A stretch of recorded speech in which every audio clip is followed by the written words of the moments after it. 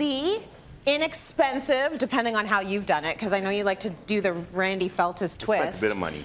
You spent a bit of money. But that's okay. You, you probably use like high quality chocolate. You want to use you? high quality chocolate, but then you can cut corners. You make things easy after that. Good. You just spend a bit of money, and then it all works out. I just like them because you make a whole sort of sheet of it and then you break it up and Yep. then it's easy for you to distribute. You can give them out as gifts. You It's bag nice. them up. You can Bag send 'em people home with it. You know, Yeah. if you forgot someone's birthday, here you go. I don't know, whatever. If you like them, you give them a bigger piece. If you don't, you give them a smaller piece. And Right. it all works out, right? It's perfect.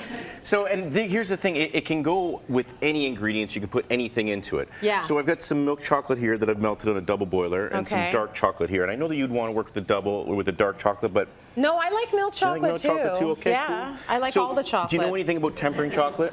No. I know Yeah. everything about eating it. Well, the, the, chocolate you've been eating is tempered, so it doesn't melt in your hand, and it's kind of like ready to go. And when you melt it down, that takes away that quality, right? So you've got to bring it and kind of basically make the crystallizes crystals in there kind of like get together. Okay. And I'm getting very complicated. I'm going to lose everybody here. So no, because it sounded like dating, like they're getting together. And sometimes the date works Getting- and it doesn't. If it gets if it gets too if one person gets too aggressive, then it doesn't work out. Got it. So what we want to do then basically is we melt half the chocolate. This is the easiest, simplest way to do tempered chocolate.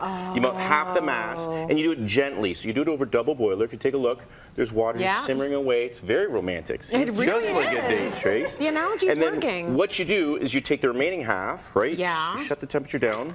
Mix it up. Okay. Okay? Got it. So what that'll do is that'll bring the chocolate, because this chocolate's already tempered, it'll make all the molecules match up, and then we'll basically be left with tempered chocolate. Okay. So now that we're letting this mix, what we need to do is think about what we're gonna put into it.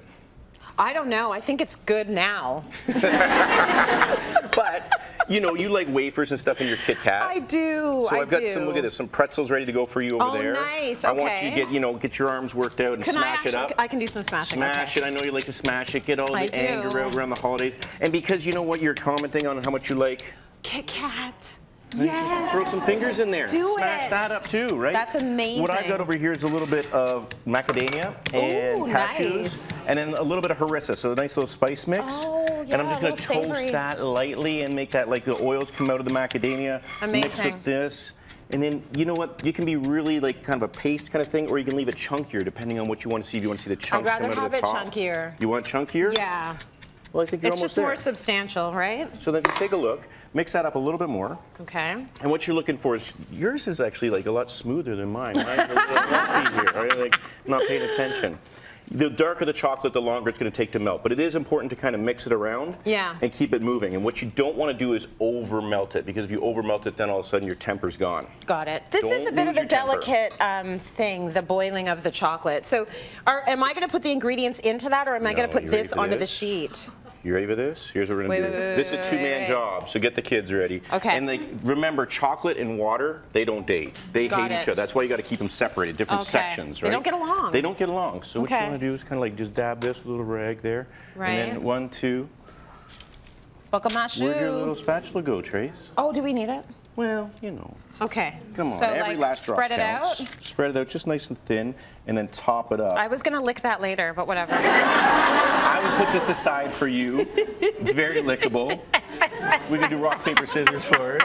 Oh my gosh. And then, woo, this one's hot, nice. right? So now take your little mixture there and your pretzels and your Kit Kat and, And I just sprinkle it on top. This is so good. You can basically customize whatever, Whatever you, love want. in And your holiday bar. It's festive. I don't want to go too far on yours, but I have to have peppermint. Go ahead. Do it. See if we can Oh, it's beautiful. Because now it's a Christmas bar, right? Oh, Here, we got the almonds. right? So now, just put it aside, put it in Yeah. a corner place, not necessarily a refrigerator. Yep. And then what you do is you come out with the finished product like this, and then all you have to do is, you ready? Smash it. Oh, wait That's like second. solid. It doesn't That's okay. break. This is, a this is a good piece for me. That's a good piece for you.